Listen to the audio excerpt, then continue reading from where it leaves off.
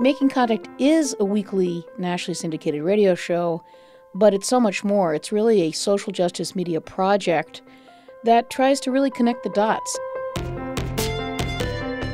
And making contact, we believe values of peace, of social justice, of human rights. Getting in touch with someone else's lived experience so that we can have a better understanding of our movement. Independent media is important to me because it serves as a balance to the uh, mainstream news outlets, the mainstream media. And I think it's important for independent media to provide a critical analysis and also cover stories that otherwise wouldn't be heard. Through a lens of race, class, gender. We are connected to the people on the ground. We are the people on the ground. And we're looking at people's movements, people's struggles to change the conditions in their lives and to build larger social movements to create positive change.